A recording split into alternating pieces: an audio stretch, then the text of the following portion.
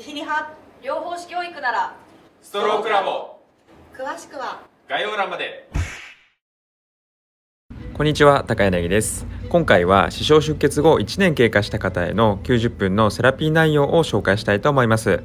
歩きの変化を見てみましょう。左がセラピーをする前の状態。歩くと上肢の緊張が上がってしまうのと右足も重たそうに振り出しているのが見えますしかし90分のセラピー後はしっかりと腕が触れているのと麻痺側の下肢の振り出しも少しスムーズになっているのが分かります。振り出しの部分を静止してみるとこんな感じですね。足首や上肢の変化が分かります。ではここから今回のセラピー内容を紹介します。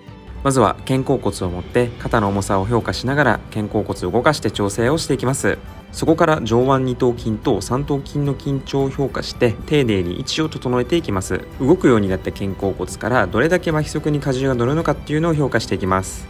ここから座位へ体幹を安定しておいて肩甲骨の外転方向の動きをしっかりと出していきます。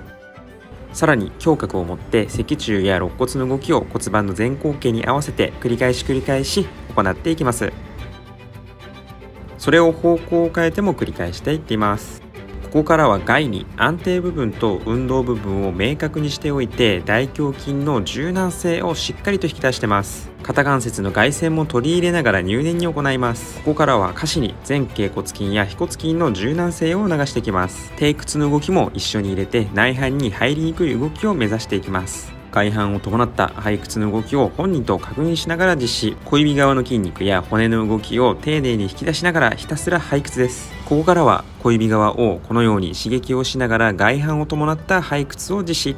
しっかりと外反を伴った背屈がキーポイントです。そしてその外反を伴った背屈をキープしながら位置を変えていってより曲がらない強い足首を目指していきます。そしてそれを繰り返す。そしてそこから下肢を空間に持っていきます。膝関節と足関節との協調的な動きを膝の動きに合わせながら求めていっています。そこから膝を立てた状態に持っていって大腿の外側についている筋肉をしっかりと側痛をしていきます。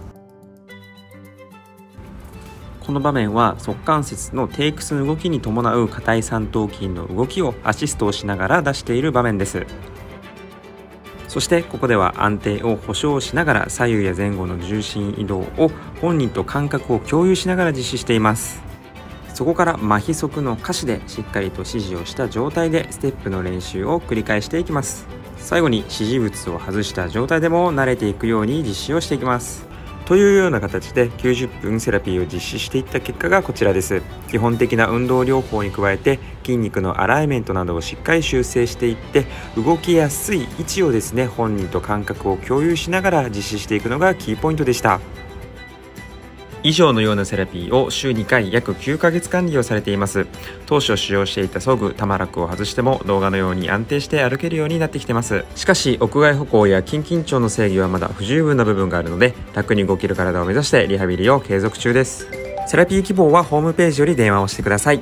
僕も2年間通って技術を習得したセラピスト向けの塾も開催しているよ。詳しくはホームページを見てね。